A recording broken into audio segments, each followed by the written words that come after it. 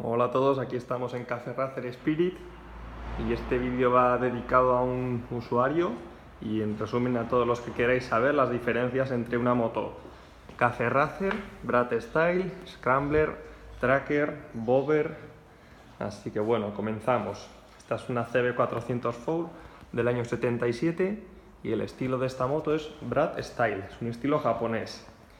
Manillar elevado, neumáticos lisos y asiento biplaza. Horizontalidad total para toda la moto. Esto es una Brat Style. Y la moto base es una CB400 Four. Ahora os voy a mostrar una Scrambler y una Scrambler parte de una moto ligera. En origen se cogen motos ligeras eh, de uso campestre, así que bueno, un buen ejemplo es la XT600 monocilindro con doble salida eh, de colector, aunque es un motor de un cilindro, tiene doble salida de escape. Y ya veis que ha quedado muy muy aligerada. La gente piensa que es de cilindrada 2,5, pero sin embargo es una 600. Es una moto muy muy divertida. Y bueno, en las Scrambler, ¿qué destaca? Pues destacan los neumáticos, que ya os fijáis que son de tacos. Por lo demás, también se suelen colocar faros con rejillas. Tenemos alguno colocado, pero en este caso eh, colocamos uno liso. Manillar elevado.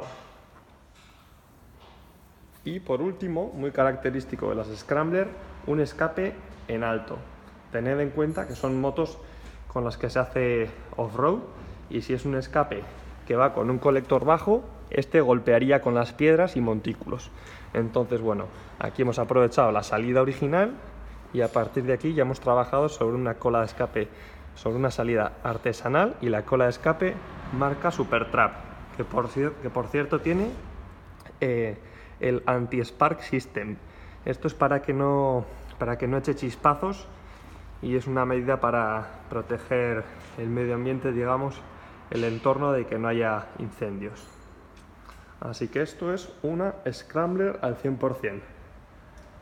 Aquí pasamos a otra Brat Style con manillar elevado, asiento biplaza y neumáticos lisos.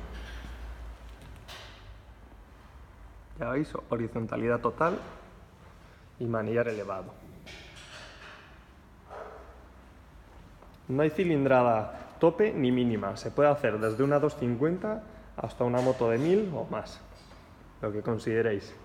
Sin embargo, con las Scrambler es conveniente conseguir una moto ligera, por lo que 600, 700, 800 ya estaría el tope. La gente últimamente customiza las BMW K y le pone neumático eh, tipo trail enduro, pero esto es solo por estética, porque son motos pesadas y bueno, saben, les gusta por estética y saben que el uso va a ser por ciudad. Ahora vamos a pasar a unas Café Racer puras, que podrían ser estas tres. La Japauto, la Dresda y la 750 Ford. Ya veis, la posición es más adelantada. Sería monoplaza, esto es un estilo Café Racer puro. Aquí tienen un asiento con colín y este otro igual, los hemos hecho iguales porque son asientos con colín pero funcionales. Si os fijáis, reposapiés para el conductor y otras estriberas para el pasajero.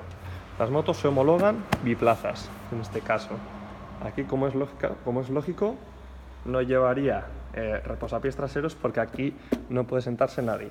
Esta es una Café Racer que estamos haciendo setentera original, con depósito de gran volumen, semimanillares y un colín gigantesco, pero así es como se hacían. Es más, este colín es de la época, ya os fijáis su vejez. Y bueno, la idea va a ser pintarlo acorde con el depósito. Haremos todo blanco con estas tres eh, franjas eh, todo a lo largo, continuaría por aquí y acabaría aquí mismo. Esto es una Café Racer pura original. Lo que os comentaba de las Brat Style se puede hacer en cualquier cilindrada. Aquí, por ejemplo, una CBX 1000. Todo recto, asiento biplaza y manillar elevado. Así que aquí tenemos una CBX 1000 Brat Style. Esta tiene 6 a 1 los colectores, una moto 6 cilindros, muy poco vista y bueno, la verdad que va muy muy bien.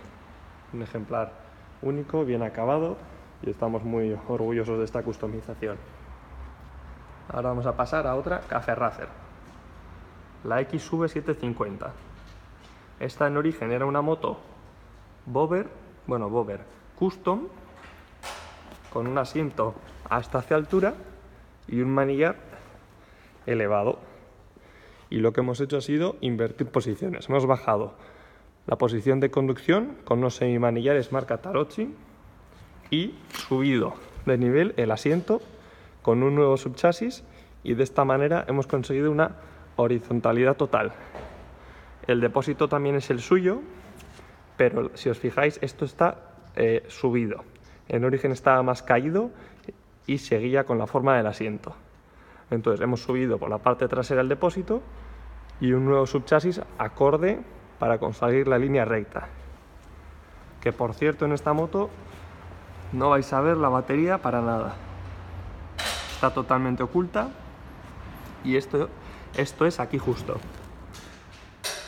Hemos conseguido un habitáculo en el que entra justo justo y queda perfecta. El sistema de amortiguación es el propio de la moto y hemos cambiado el amortiguador por uno de la marca YSS. Y bueno, aquí seguimos con unas Café Racer de la época, que de estas ya hice un vídeo, son las Dunstal, si os fijáis carenadas, pero bueno, las dos con semimanillares.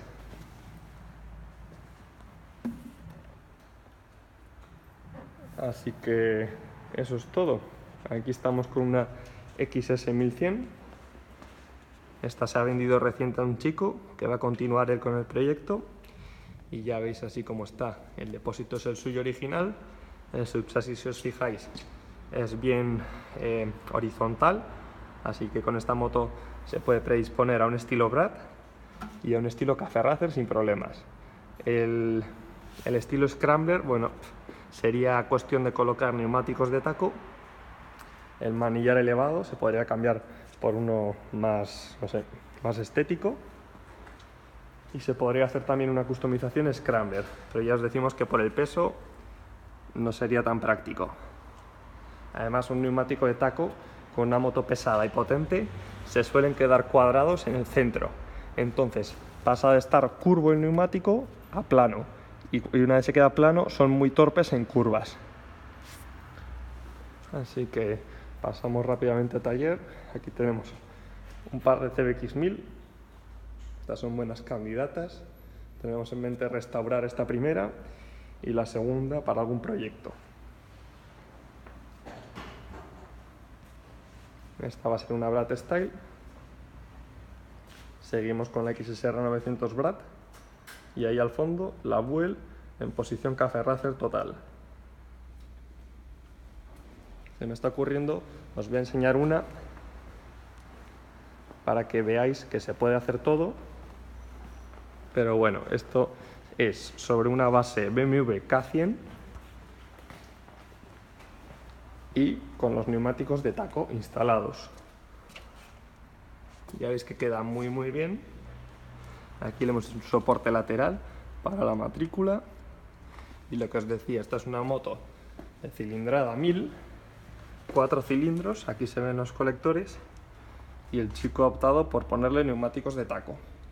Lo ideal serían unos neumáticos lisos, pero bueno, tema estético y también tiene sus prestaciones, así que bueno, se pueden montar sin problema, pero ya os decimos que esto es más visual. Eh, la moto es bastante pesada, por lo que para un scrambler, como decía antes, es mejor no pasar de 600, 700 o incluso 800. Cuantos más cilindros tiene la moto, se convierte también en una moto más pesada. Así que una opción ideal son las Dominator 650, XT600, las Transalp también son buenas, las Tenerés. Y bueno, aquí os voy a descubrir la moto para que la veáis al completo. En sí está muy muy chula. Ya veis, los neumáticos son los famosos TKC80 el faro tiene un faro LED, una pintura preciosa. Y bueno, aquí ya veis que prima el color negro. El escape también lo hemos recortado, se pintará todo en negro anticalórico y eso es todo. Espero que os haya gustado el vídeo y nos despedimos. Venga, un saludo.